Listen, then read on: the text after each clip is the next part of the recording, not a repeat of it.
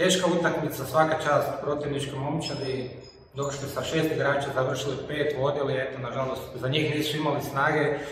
A ja sam jako ponosan na svoje dečke koji su